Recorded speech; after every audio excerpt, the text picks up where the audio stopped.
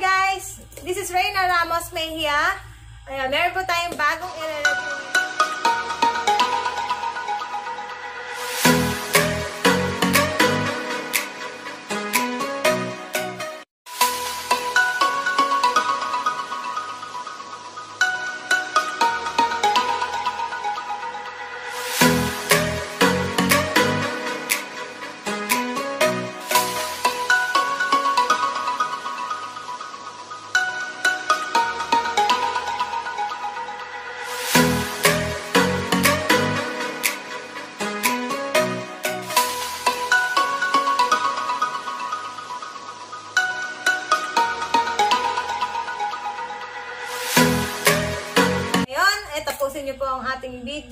Po malaman nyo ang ating mga sasabihin badang huli sa ating video na ito. Meron na naman po tayong bagong pad na dumating. Siyempre po, from Vape X naman to. Bagong product po, ay new pad generation. Ika nga.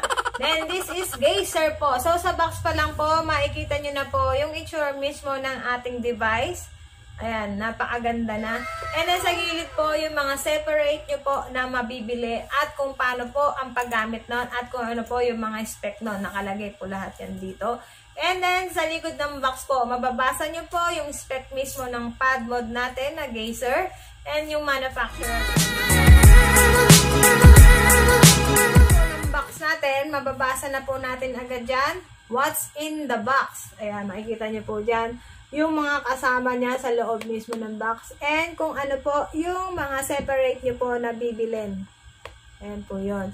So, laman nga po ng box, may kasama po siyang sleeve para po sa 18650 na battery. Ayan. So, para magkasya siya sa mismong mod natin. And then, may kasama po siyang dalawang tools. Ito pong tools na to ay ginagamit sa pagtanggal ng ating mga X-coil or OCC.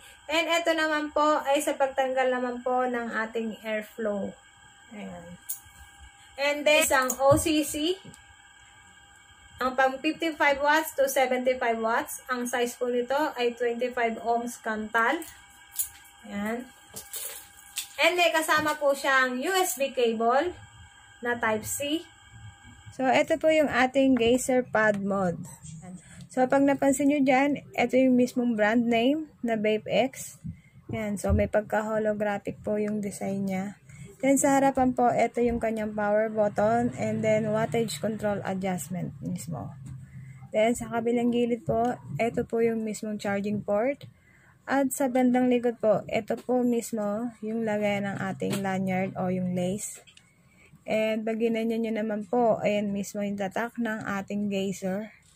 Ito po mismo yung kanyang lagayan ng battery na pang 21700 at 18650 na battery. So, yun nga, yung pwede nyong gamitan ng sleeve. At ito po yung kanyang pad tank mismo. So, may mapapansin po kayo sa kanya na dalawang pindutan sa taas. Isang maliit at isang malaki ng konti. So, itong maliit po na to, para po ito sa pag-open mismo ng kanyang tank. So, pupush nyo po yan ng pataas. So, ma-open na yung kanyang pad tank. At dito nyo mismo i-refill yung juice. Then, kung ibabalik nyo naman po, make sure po na na-push nyo na mabuti. Ayan.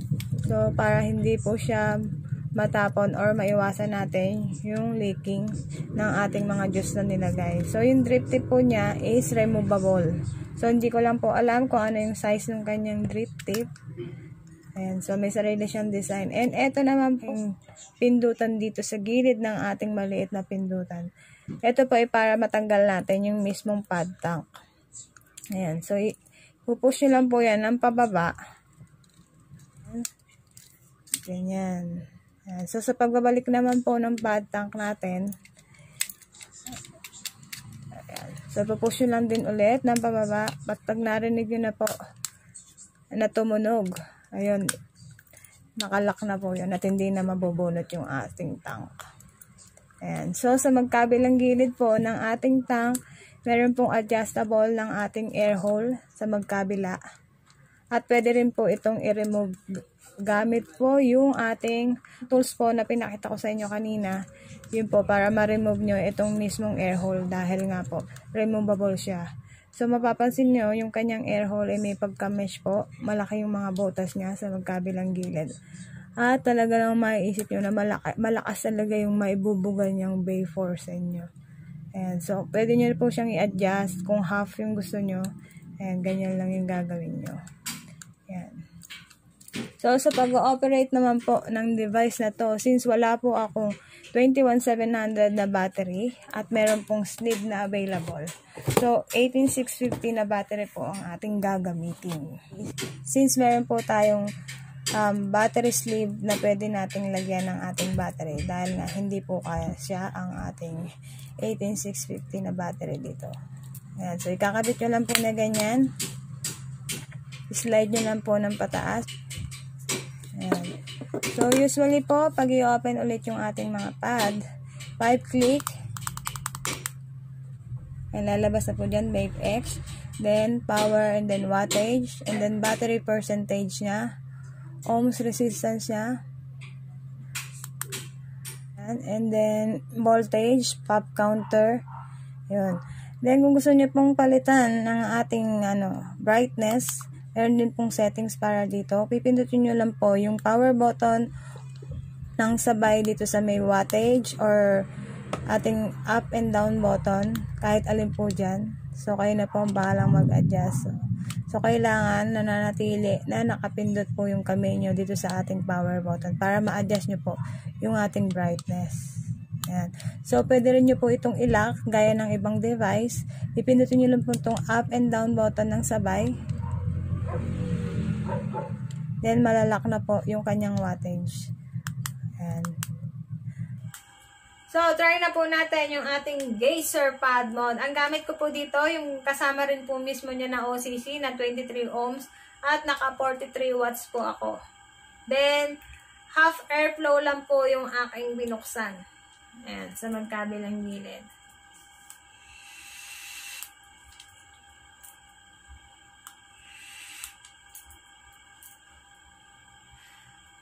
Yun. Ang napansin ko sa kanya, kahit naka half airflow lang po ako sa magkabila, malakas pa rin po siya. So, nasa inyo na po yon kung gusto nyo po pa siyang sikipan or luwagan. So, nasa inyo na po kung ano pong vapor yung gusto nyo. And then, sa drip tip naman po, uh, medyo hindi ko pa po siya gamay dahil nga po medyo nalalakihan po ako sa kanya since yung ginagamit ko po na isang pad ay mas maliit po yung drip tip kesa dito. And then, sa flavor naman po, uh, masasabi ko na mas okay na okay siya kapag mga neck po yung mga ginamit nyo. Talagang mas mararamdaman nyo yung um, hagod na hinahanap nyo sa isang pad. Ayun. So, sa flavor naman po, wala rin naman akong masabi kasi malasa din naman po siya at yung enhance nga po ng flavor ng aking um, nicotine and then yung RY4 po na ginagamit ko ay bagay na bagay din po kapag nilagay dito sa aking geyser pad mod. Ayan. And then, yung hagod po talaga ng juice ay talagang nandito. Yung nicotine.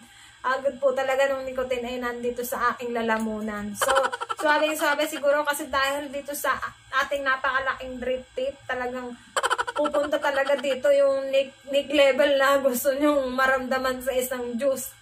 Ayun. So, napakaswabe nito. And, half na lang po yung naka-open, pero naluluwagan pa rin po ako. Masisikipan ko pa siya ng konti kasi sobrang lakas po talaga nung vapor nitong ating geyser pad mod.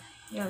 Maraming maraming salamat po kay Sir Dave Canlas ayan, sa pagbibigay po sa atin ng Vape X. Ayan, thank you so much Vape X sa pagtitiwala po sa akin at sa pagbibigay po ng sample nyo ng ating Vape X Geyser. At huwag nyo pong kakalimutan mga boss amo na mag-subscribe po sa aking YouTube channel na Vape Kicks po. At huwag nyo kalimutan na i-click po yung notification bell para po lagi kayong updated sa aking pong mga i-review na mga product na vape at sa aking pong mga ibaw lang. And magkakaroon po tayo ng ipamimigay na isang Vape X. So sa mga maswerteng mapipili ko po, Good luck po. Ayan, kaya manatili po kayo na lagi dapat kayo nakasubscribe. Dito po ako mamimili sa mga subscriber ko at sa mga followers po namin sa Facebook. So, i-share nyo po itong video na to para po maisa po kayo sa mga mapili ko na mabigyan po ng Vape X Caser para matry nyo rin po to sa inyo. Once again, maraming salamat. Vape Kicks number 3.